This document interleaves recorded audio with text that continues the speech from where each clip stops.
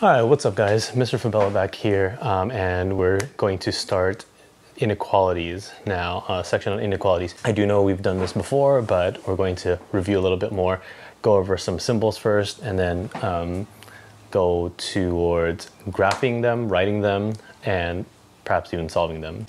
Let's go ahead and start. Okay, so right here we have some symbols here.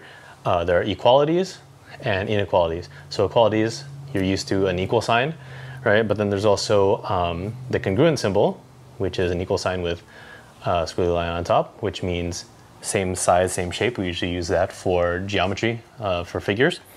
And similar, same meaning same shape. So like a small triangle is similar to a big triangle. Uh, as for inequalities, you have is less than, is greater than, and then with a line below it, is less than or equal to and is greater than or equal to. And then also included in inequalities is showing that things aren't exactly equal. So um, approximately equal to, or you guys are used to saying um, about. So that's one of them as well. Right. And so for the definition of inequality, I'll put it up there, but it's showing that something is not equal. And whether that's less than or equal to, greater than or equal to, less than, greater than, one of those things, um, we will show it right here.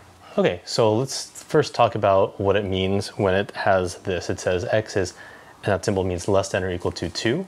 So what does that mean? Let's see. If we have a number line, you see seeing a number line there, we have from negative 5 to 5. What values will count as being less than or equal to positive 2, I mean, positive 2. So yeah, 1 is less than 2. 0 is less than 2. Negative 1 is also less than 2, right? Everything to the left is less than or equal to 2. But also everything in the middle, so like 1 and a half is also counted as being less than 2. Right? So 1 and 3 fourths, 1 and 4 fifths, right? So that's why it's all filled in. So everything to the left of 2, including 2 itself, is less than or equal to 2. So any of these numbers, like negative 3 or negative 4 or negative 3.6, all of those are solutions to x. They can all be solutions. It's not just like one solution where you're used to with the with equalities that we've been doing so far. Um, anything to the left that's covering that line, that is a solution to x is greater or x is less than or equal to 2. So let's try the next one. This is x is greater than negative 3. So we have our same number line here, negative 3. So let's see, greater than negative 3, negative 2 is definitely greater than negative 3.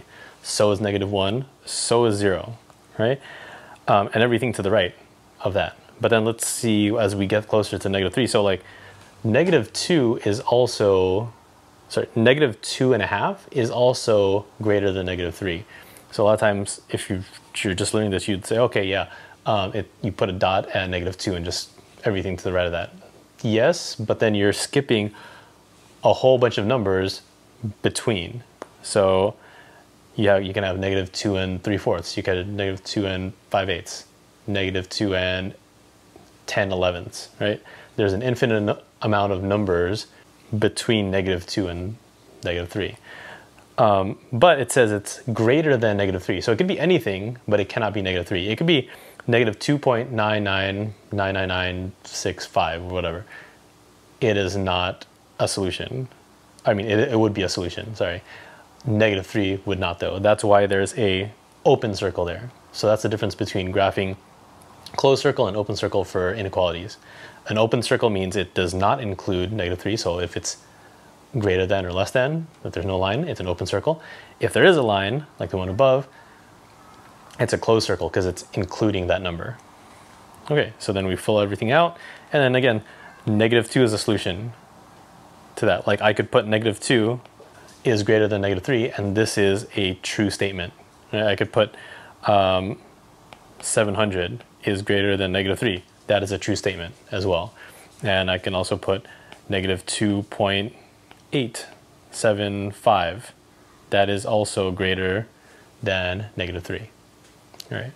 Let's move on. So if I'm writing an inequality, all real numbers less than or equal to 3, less than or equal to, you're going to have to remember it's going to be that symbol.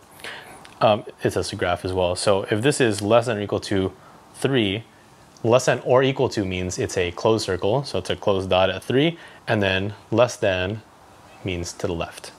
Okay, all real numbers greater than negative 2, so it's going to be the greater than symbol, and if it's greater than, it's going to be to the right. There's no line under the greater than symbol, so it's an open circle, because it's not including negative 2. So open circle going to the right. All right, so in the book, it has the inequalities and what each of them means. So is less than, or you could say is fewer than. Um, the symbol is greater than, is more than. And then these two, less than or equal to, and greater than or equal to are interesting because these two right here, these two statements, is at most, is at least, that's a little tricky for a lot of people because it says is at most, but then it's the less than symbol because you think most and then you think it's going to be greater than. But if it's at most, it's like um, you can spend at most $20. That means you can spend $20 or below because you don't have anything more than that, right? Um, at least, right? You need at least five out of six points on this test to uh, pass or something. So you can have five or more. You can't have anything less than that. Okay, let's move on here to some like very simple examples. Of the number six, seven, or eight, which is a solution to the inequality? So this isn't even graphing it, right? It's asking if it's a solution. A solution means if I put that number into this equation or this inequality, is it gonna be true? So there's a couple ways of doing this. We're just gonna plug these in for now. We're gonna plug in six, seven, and eight into this inequality first, and that's one way to solve it. Right? So I can start with 6 plus 2. Let's see, that's 8 is less than 9. So that is the solution. And we might as well check the rest of them. Um, 7 plus 2, this is 9 is less than 9. This is not true. 9 is not less than 9. 9 is equal to 9. And then, as if you would have to do this again, but just for the sake of it, 10 is less than 9, that is not true. So the only true one is this. So the solution would be 6 is a solution to this. Okay, 6 is a, a solution.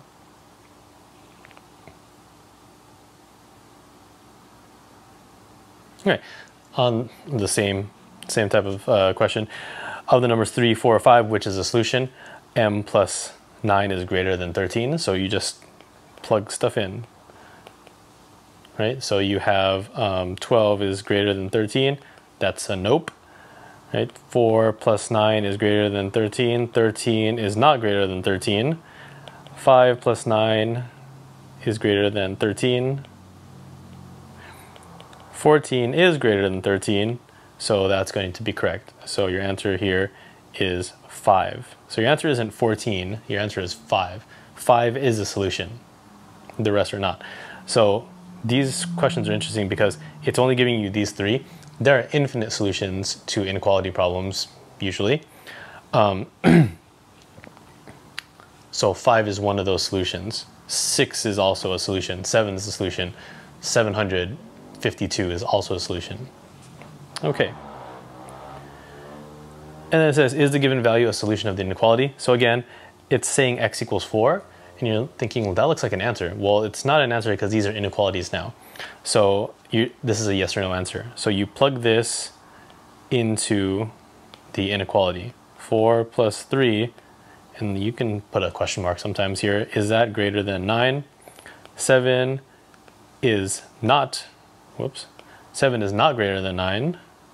So you can put a, a slash through there. And then this would be no, 4 is not a solution to this inequality. If you put 4 where the x is, it's not going to give you a true statement. Along the same lines, if I do this, if I put 5 and plug that in, use substitution, 5 plus 6, is that greater than 12? Or is that less than 12? 11 is less than 12, so then you would say, yes, it is a solution. Yeah, so there's a bunch of other problems like that, but we'll move on because this is that's very very simple. Uh, let's try a little word problem here. Lisa works at a gift shop. She receives a bonus if she makes more than 20 balloons, uh, balloon bouquets a month. Which months did Lisa receive a bonus? Use inequality B is greater than 20, where B represents the number of balloon bouquets made each month to solve. So here, basically, you're plugging in each of these numbers to see which one is greater than 20.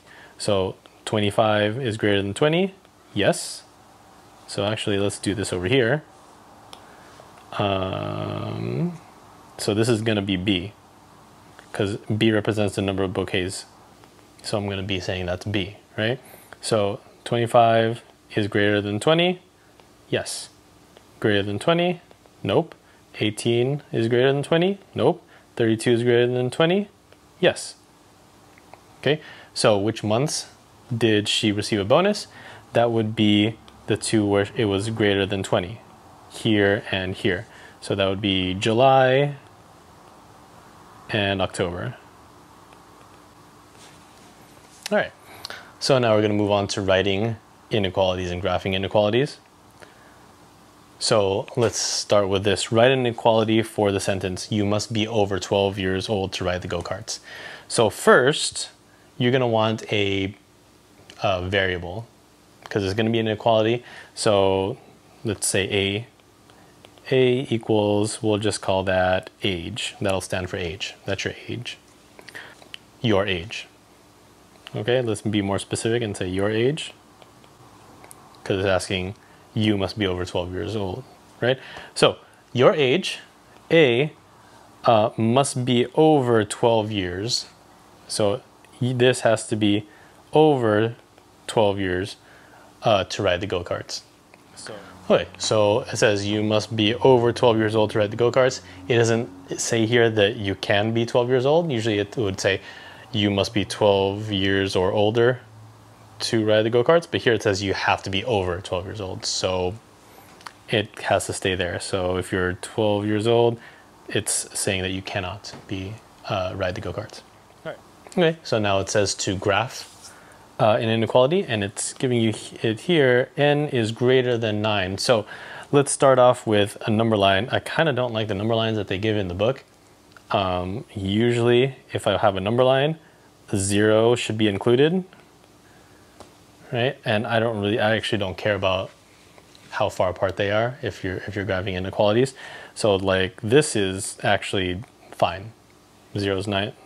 This is fine. I don't need to put one, two, three, four, all those things. I just need to know where where's zero in relation to the number and is my line going left or right. So I'll do it on both since um, the book has it a little differently. So n is greater than nine. So we're starting at nine it can be, it actually cannot be 9.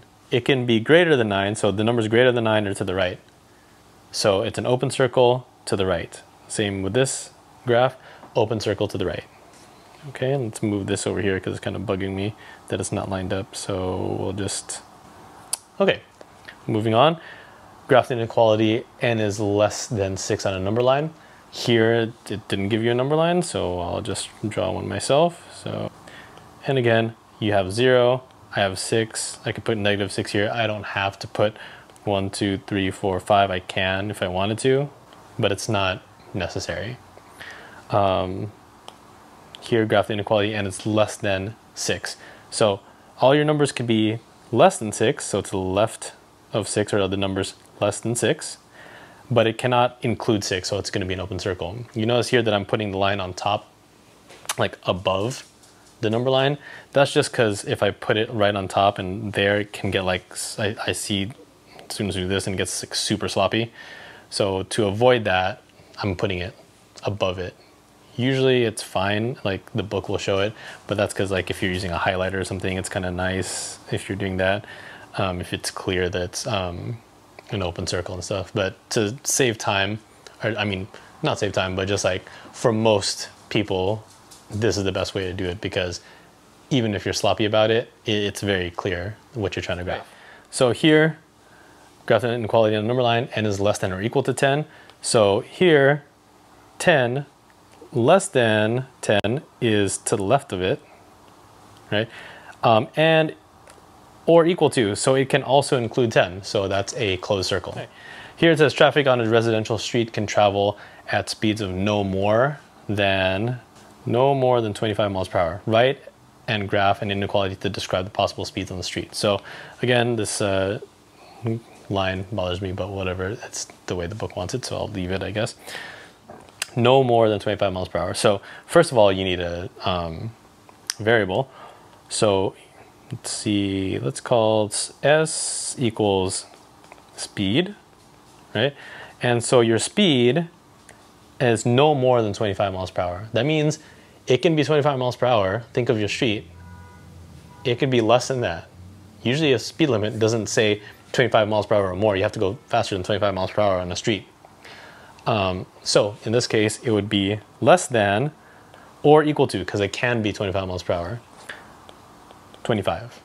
Okay, so to graph this, it's going to be a closed circle, less than or equal to, and it's going to be to the left because it has to be slower than 25 miles per hour. Then here you must be 48 inches tall to ride a certain roller coaster, write and graph an inequality, and describe the possible heights that can ride the roller coaster. So here 40 at least 48 inches tall. Okay, so let's say H is, stands for height. Okay. That's your height. Um, so your height has to be at least 48 inches tall. So if it's at least, you can be 48 inches tall or taller. So it's going to be greater than or equal to 48. All right, so if I'm going to graph this, I'll just put zero here, 48 inches there. And you can be 48 inches, you can ride the roller coaster, or taller. So you can be 48 inches or taller. I mean, it, it says it right there. Um, and that describes it. So anything that falls along this line, if you're 60 inches tall, if you're 78 inches tall, you can still ride uh, the roller coaster. All right, so that was a quick lesson on inequalities, writing and graphing them. Hopefully that was helpful, and I'll see you guys next time.